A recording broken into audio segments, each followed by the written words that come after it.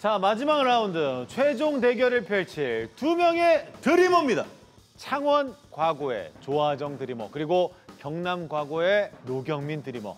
두 드리머 가운데 울산 경남을 대표할 우승자는 누가 될까요?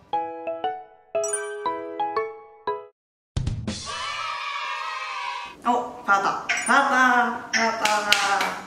나나 보여? 화장 지금 한 거? 헐, 화장했어? 어머, 근데 나 오늘 장비랑 많이 못했어. 헐, 에너지 떨어졌대? 그건 아닌데 질문이 진지하게 와가지고 음, 그랬고. 그래서 몇 라운드까지 갔는데? 야? 나 우승했는데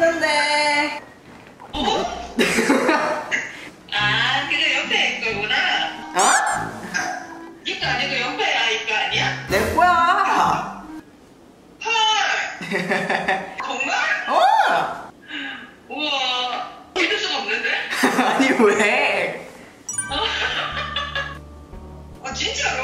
그래 그러면은, 이거 다음에 또 녹화 또 가야 돼? 응 헐, 진짜로?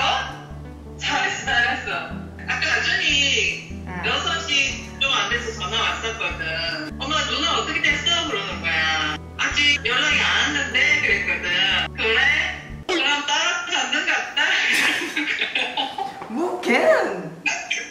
일단 아빠한테 안 했으니까 아빠한테 얘기하지 말고 아, 그래, 가만히 있을게. 하늘 봐봐. 끊어. 아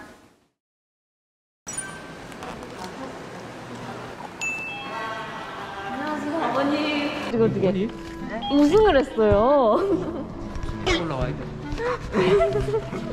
네. 내가 받은 제일 어색하다고 했는데 어떻게 해줄 거야? 파이팅 해줄 거야.